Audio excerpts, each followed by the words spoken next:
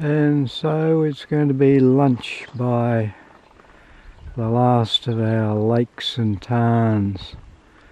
Uh, you might be able to see it up there as the uh, boardwalk walk track we went across um, that you look down onto into Lake Seal and here we are at Lake Seal now.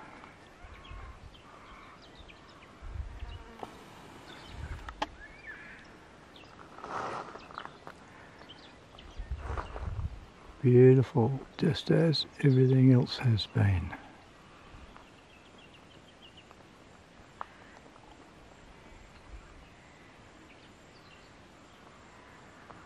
Very tranquil.